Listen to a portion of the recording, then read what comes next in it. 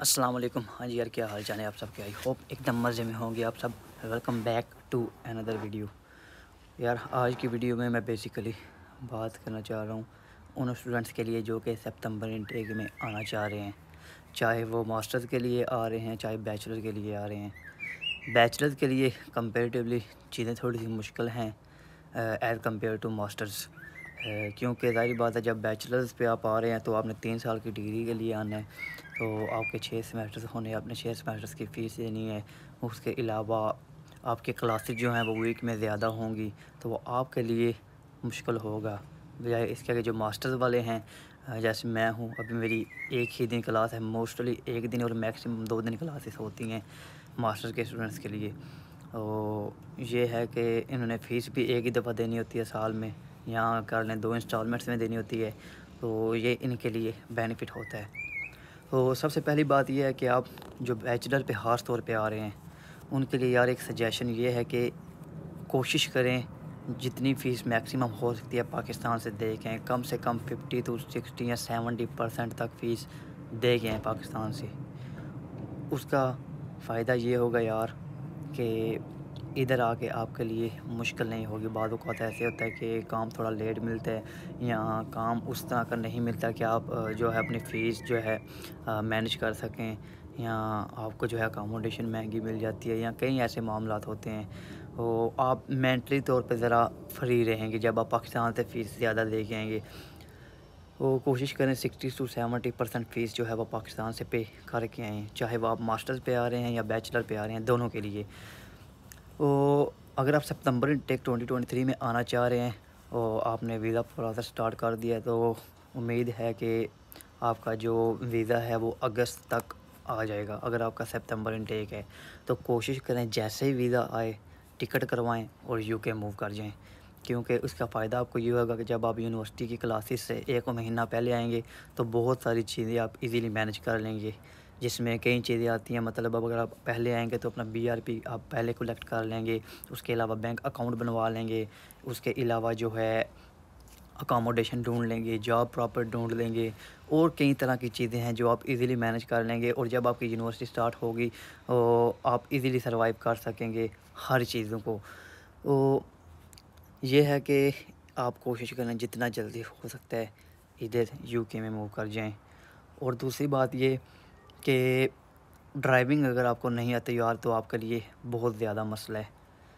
ज़ाहिर बात है, जब आप यूके में आना चाह रहे हैं, आप स्टडी करना चाह रहे हैं अपने घर वालों को भी सपोर्ट करना है, आपने इधर से कमा के पैसे देने हैं तो ऑफ़ कोर्स आपके लिए एक मुश्किल टाइम स्टार्ट होने वाला है।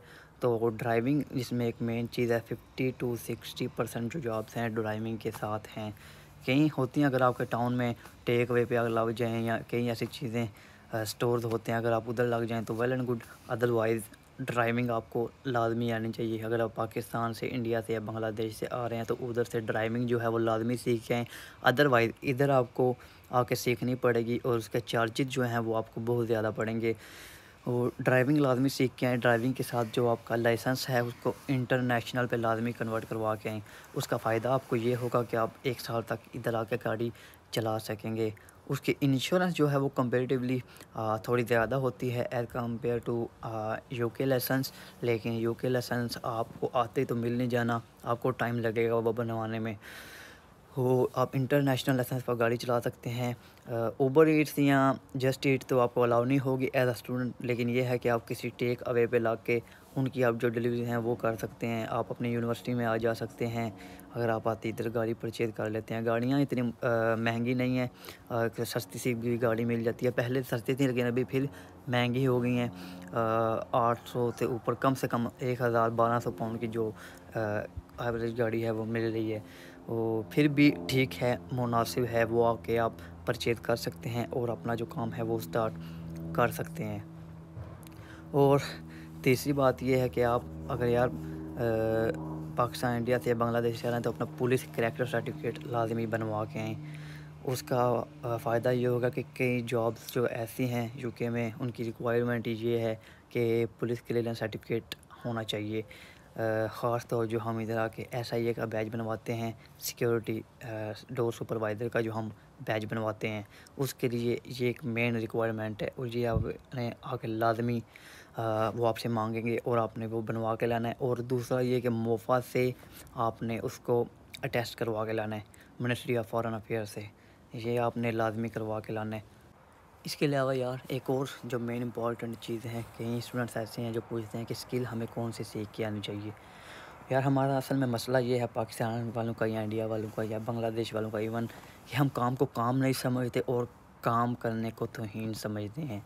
कई काम ऐसे हैं मतलब अगर बारबर का काम है, अगर तो यार आपको बारबर का काम आता है तो आप बहुत सारे पैसे बना सकते हैं इधर आके।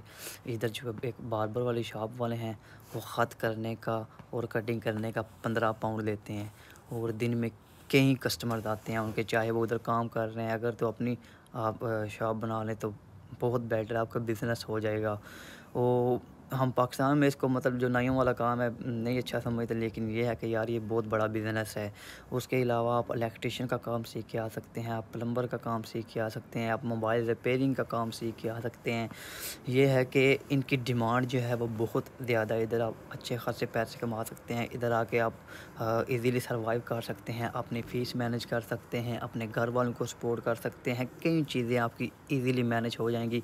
अगर आप इन स्किल के साथ यूके में लैंड करेंगे इसमें आके आते ही आपको जॉब ढूँढने में प्रॉब्लम नहीं आएगी। एज़ कंपेयर टू जो कि विदाउट स्किल आते हैं जैसा कि मैं आया था।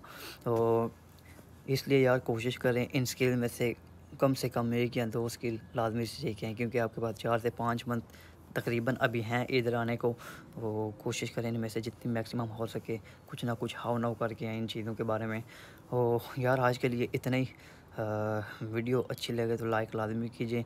मज़ीद वीडियो के लिए चैनल को सब्सक्राइब भी करना मत भूलें। इंशाल्लाह मिलेंगे एक नई वीडियो के साथ। तब तक के लिए अल्लाह हाफिज़।